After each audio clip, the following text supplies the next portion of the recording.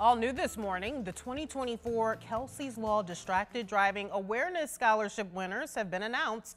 Only eight students from across the state have been chosen. Half of them are from West Michigan teenagers are tired of adults lecturing them on things, you know, what to do and what not to do. So the fact that these messages are coming from each other and they're talking to each other, we think is just really, really special. That's why the Kelsey's Law Distracted Driving Awareness Scholarship was created. It's just a great way for teenagers to get the word out and to talk to each other about uh, being safer on the roads. The law firm Michigan Auto Law started the scholarship in 2016 in honor of Kelsey Raffaele.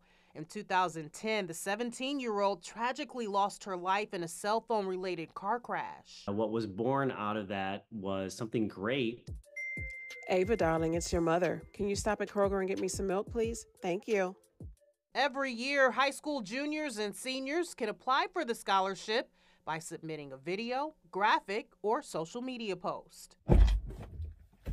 You can't drive like that. The winners are chosen by Kelsey Raffaele's mom, Bonnie. She had a heart bigger than this world. This year, that includes Anna Held of Hamilton High School. I really like the dramatic effect um, that it brings. It brings a lot of emotion. I decided that I needed something different.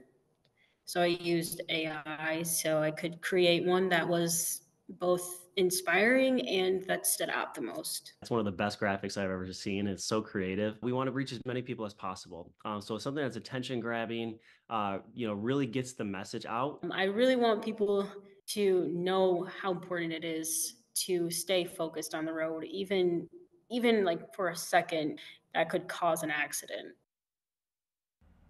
Anna won a $2,000 scholarship for her design and tells me she's headed to Ferris State this fall to study computer science.